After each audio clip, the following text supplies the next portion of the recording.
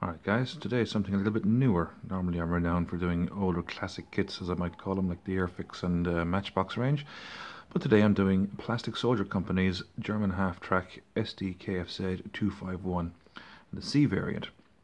The 251 itself uh, had its origins in the same requirements as the, the previous uh, SDKFZ 250, um, but the 251 was a, basically a heavier vehicle uh, entered service with the Wehrmacht and all that in uh, 1939, and basically was intended as an uh, armored personnel carrier. Um, so it turned out to be quite a useful vehicle, obviously enough. And there was, as far as I know, 22 special purpose variants. Um, which were manufactured. So you literally had uh, anti-tank guns, flamethrowers, communication vehicles, ambulances, searchlights, all sorts of things. Um, now it was a little bit unreliable at the start of its uh, service, but um, it ended up being produced by the thousands and uh, used on all fronts. And um, it was kind of a trademark, really, of the uh, German Panzer formations. Um, and I mean, you can see all in the footage of uh, of the from the period. This particular vehicle will, will feature heavily. Um, anyway, that's uh, that's that. But the uh, box itself here, as you can see, um, lovely artwork there by Plastic Soldier Company. I really like the fact that they've kind of gone for a classic look with the artwork there. Um, can't see an artist's name on the uh, the uh, packaging at all, unfortunately, but there you go. Um, now the great thing about these uh, Plastic Soldier Company um, vehicles is that they are a fast build, quick build, rapid assembly, whatever you want to call it, um, kit, and they are in 172, of course. But you get three vehicles and a multitude of crew figures. Um, there is a little bit of assembly required, as it states in the bottom right hand corner of the box there.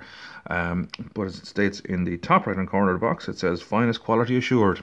I don't know why that says that there. I mean, surely you expect that you release something with the finest quality you can possibly manufacture to your best of your resources. But however, um, so the kit itself very straightforward. Um, it's a joy to put together. I mean, really, really speaking, for me, it bridges the gap between uh, a decent model kit and a uh, fast assembly, which are normally quite basic, the likes of Armourfast, which I quite like. Uh, one of my other videos there, um, my young lad put together uh, his uh, 251s, they were the Armourfast, and I thought they came out quite well.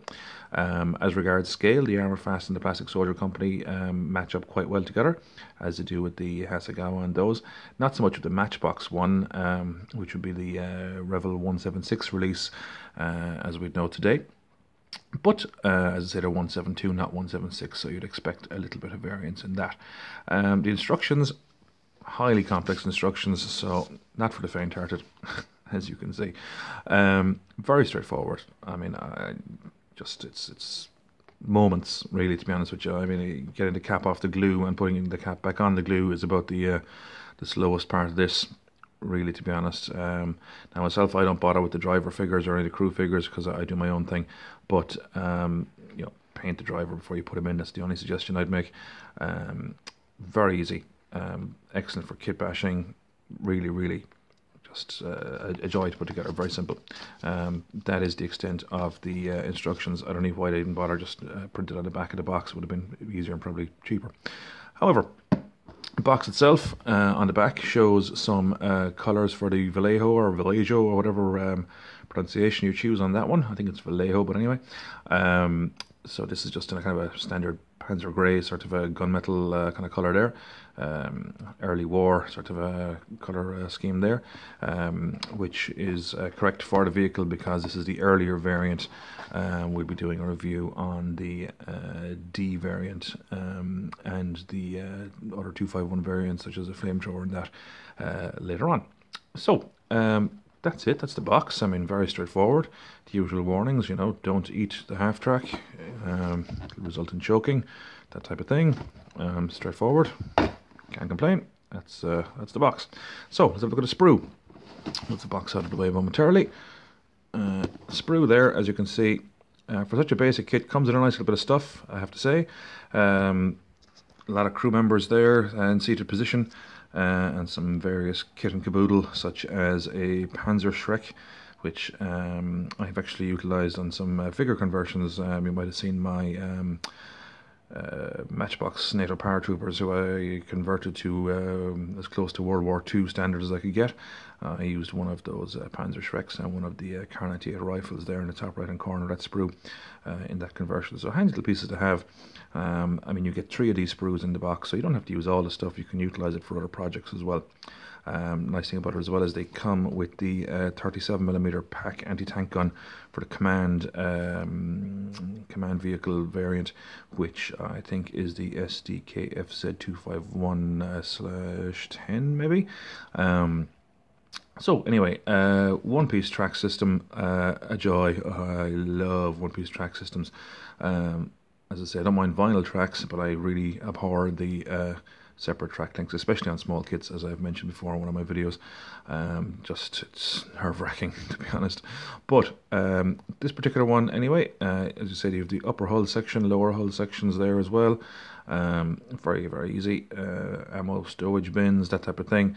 Uh, crew members there. You have the guy which operates the MG34 as it is with the uh, 251/C because it's the earlier variant. The 42 obviously hadn't been released because it wasn't 1942. Um, so uh, campaigns 39 onwards um, up to that point, it would have been equipped with the 34 uh, MG34.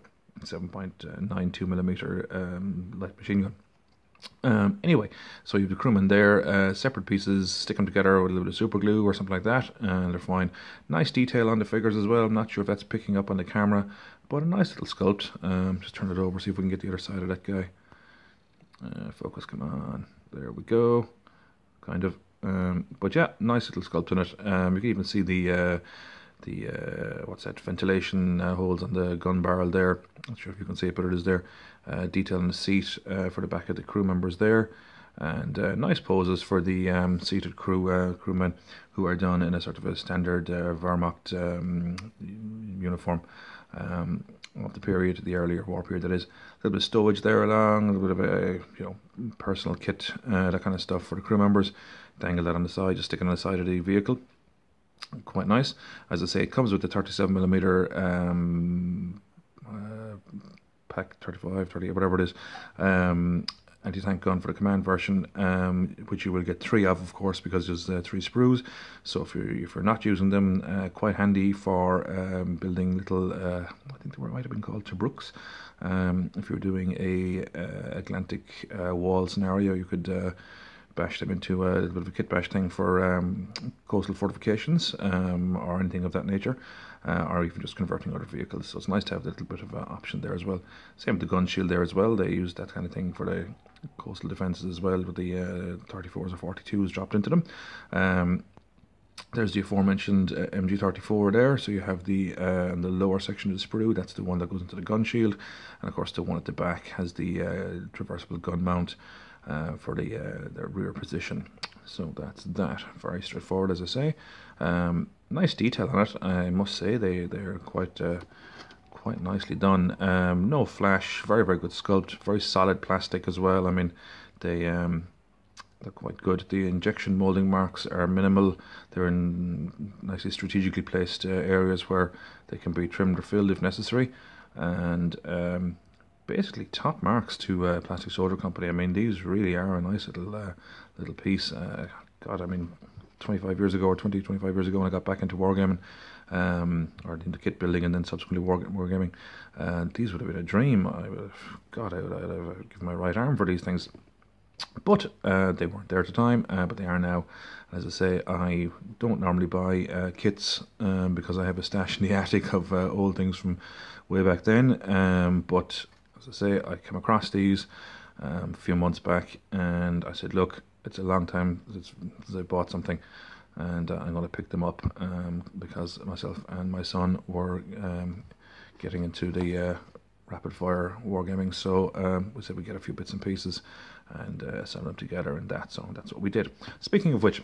Um, let's have a look at a couple of the assembled vehicles. Now, I have done these in a sort of a late war Normandy style camo pattern, um, which isn't specific to uh, any particular unit. That's kind of a general sort of a thing I did um, because we'll be doing different scenarios, and it's just kind of a, just a generic sort of a camouflage. I mean, it's actually taken from um, an Airfix King Tiger uh, color scheme um, that he was doing. Um, but what I did was I just added the uh, the dots there, like P dots or whatever it was they were called. I can't remember. Kind of ambush camouflage. Uh, I think that was what they called it anyway, ambush camouflage. Um, so basically, this these units aren't completely finished yet as regards the painting and weathering and all the rest of it, but um, they're not looking too bad. I kept the interiors nice and simple, just did the base coat. Um, and uh, I tend to kind of have a bit of a rub of a 2B pencil for kind of uh, chipping and all that kind of stuff. So that was that. Uh, there's the uh, the 37 millimeter um, anti-tank gun uh, and the MG34 in the rear there. So you can see the uh, the ventilation holes there, and you have the, the magazine um, as opposed to being belt fed. I mean, it was belt feedable, for want of a better term. Um, but uh, they have the uh, magazine on that. Um, you'll notice that the back of this has a slightly more angled um, kind of appearance. The D model, um, which I'll be reviewing in a while, uh, had a kind of slightly more flat uh, sort of appearance, even though it was, more angular in one sense, but it didn't have that kind of pointy bit out there. I think that was just for ease of manufacture, really, to be honest with you. Um, armor on these things, I think, ran from about God, uh, six or six or seven millimeters up to about fourteen or fifteen millimeters. So, you know, wouldn't be stopping a tank round, but um, protect you from, uh, you know, bullets and shrapnel and that kind of thing. Um, so that's the command version. This is just the uh, the regular uh, regular one. Um, yeah, straightforward. Again, you know, focus there, just about. Yeah, here we go.